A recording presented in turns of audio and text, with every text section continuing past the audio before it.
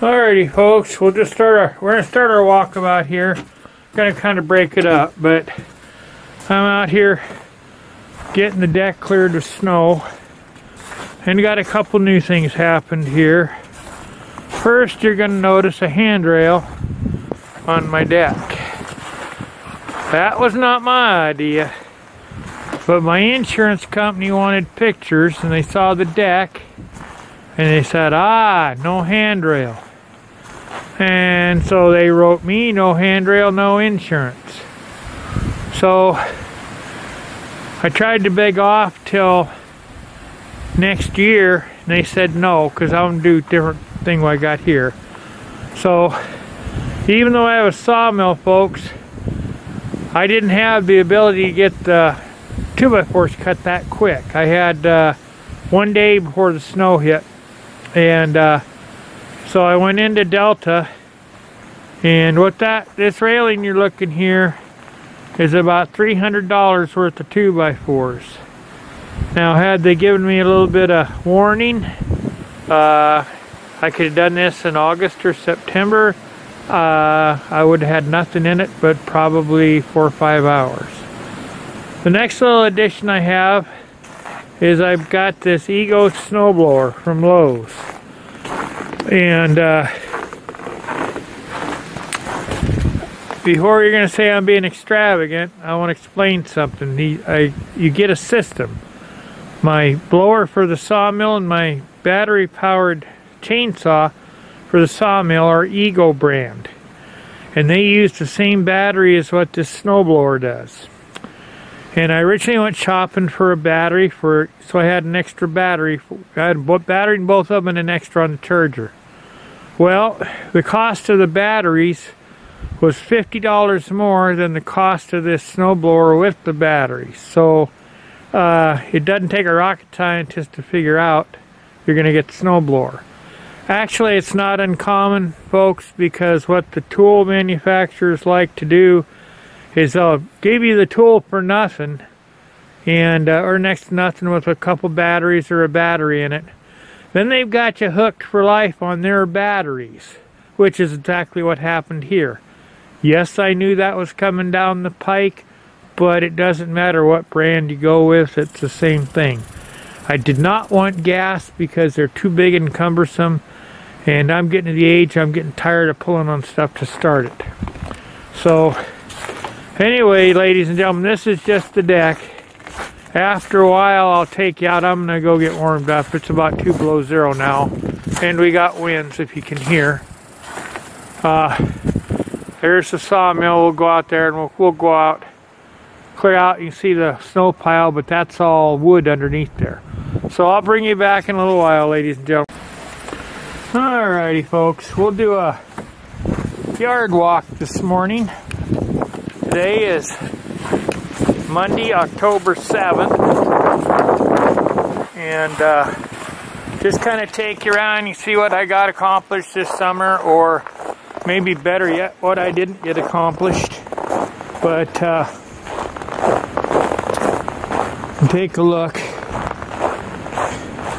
About two below zero right now, so not too bad. But we got 30 mile an hour winds. I'll shut up. You can hear the wind. I would imagine.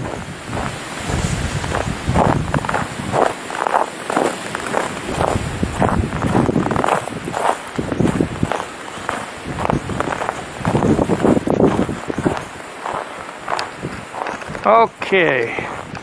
Last last winter, you remember I had a pile of snow here about to the roof. And I have since got that hole all filled in and I got this side sided. I still have boards to put up on top and I got to do uh, the styles on there, but we'll get we'll get that next spring.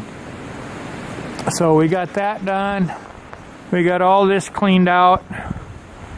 Got this kind of leveled out so it's easier to walk in around. Got some stuff hanging there. I don't know if you can see it or not. Keep in mind my lens is broke. I got to get a new one. And then I started siding the back wall. I had a friend of mine that I sawed some uh, trees up that he'd sawed down. So That took me a little bit, not long, but it, it took me probably, because I'm an old man, probably a week. And so this is the other end. Last winter, that was just a black tarp that was up there. And uh, here I got a post in the middle. That'll help me hang on. Uh, I can hope probably support three or four feet of snow on there if it doesn't rain. And uh, here you can see this side. I've got it all kind of manicured up. Okay. What I do here remains to be seen. I don't know if I'll put a building out over this, maybe like a little shop or something like that. And so, got the yard pretty well plowed right now. There's where I store the tractor, of course. And uh, got the snowplow off the pickup, and the motorhome is in the shop because I hit it with the snowplow.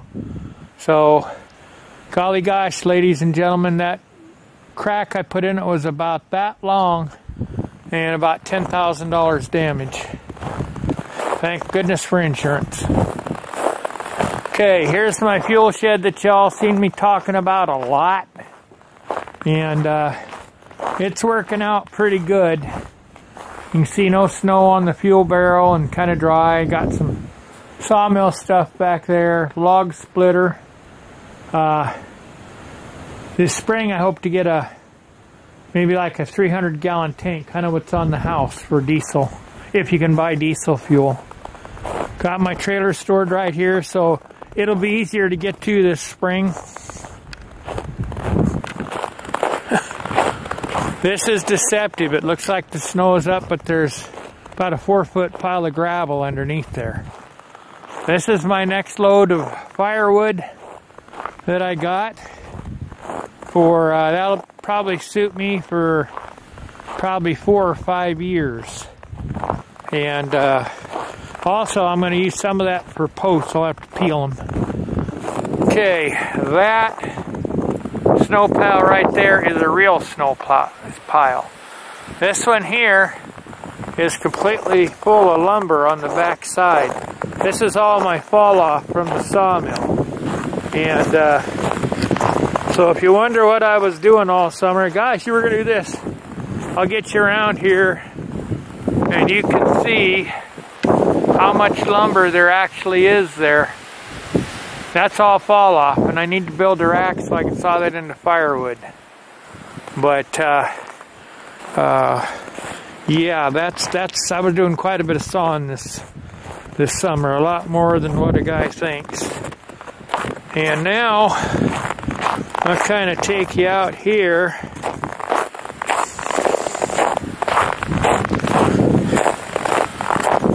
We'll go out where the wind's blowing.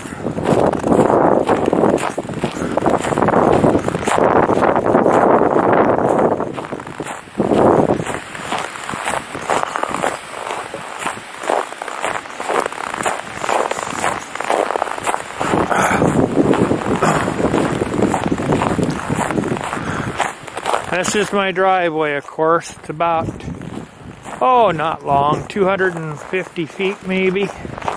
I don't know if it's that long, I don't remember.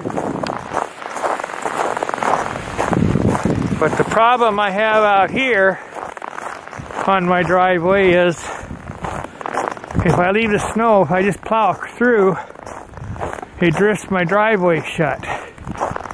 And, uh, so the last couple years, I got the tractor going and I move stuff back. And when I say back, I mean I move it back. And so you can kind of take a look at the ditch there and then I come around to this side and I do the same thing. I push all that stuff back like that. This year, I mowed the ditches across the road. So broke out a little bit. Yeah, the wind's cold.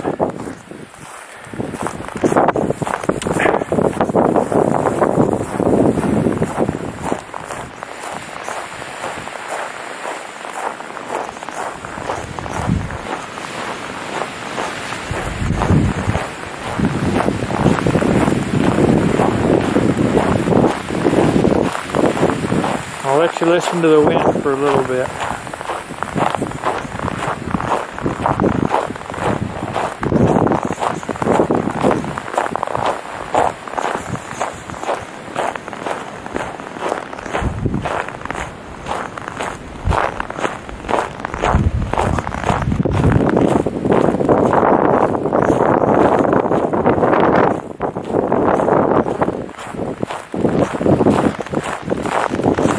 There's the greenhouse. I got a tarp over it this year. And uh, pulling the snow. Snow, I can get a little rough with the tarp, and it seems to slide right off there just fine. However, the plastic that's on there, that's just your regular plastic from Home Depot.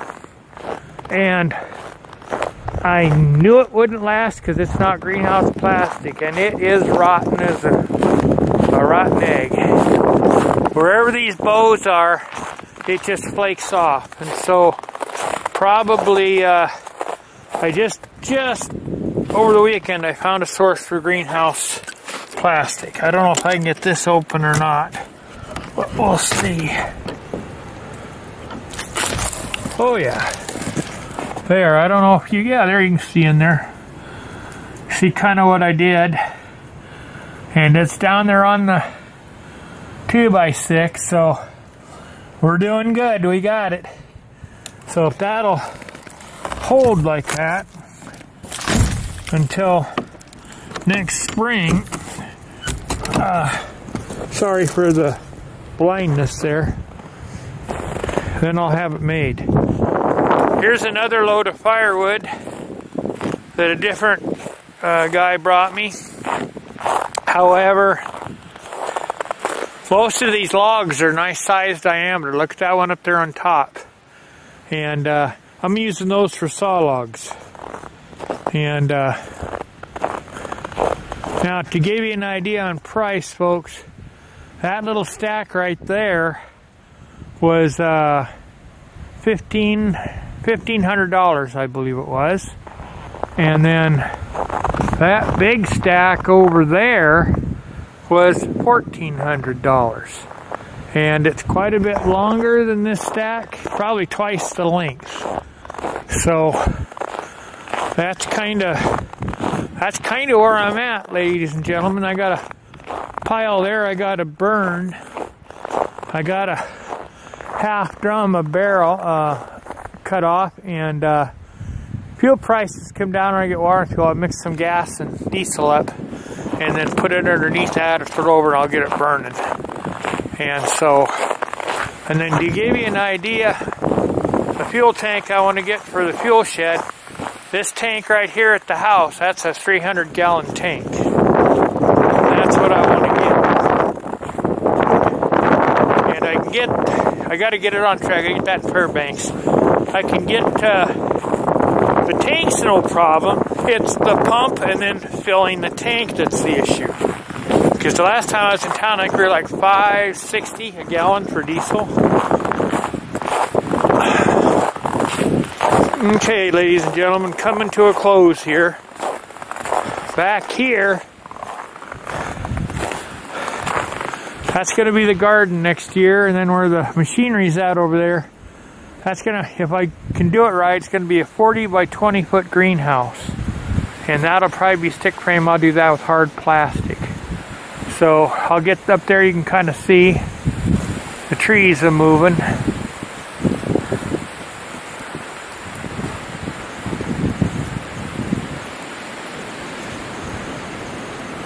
Alrighty, ladies and gentlemen, I'm going to shut her down and get in where it's warm. Y'all have a good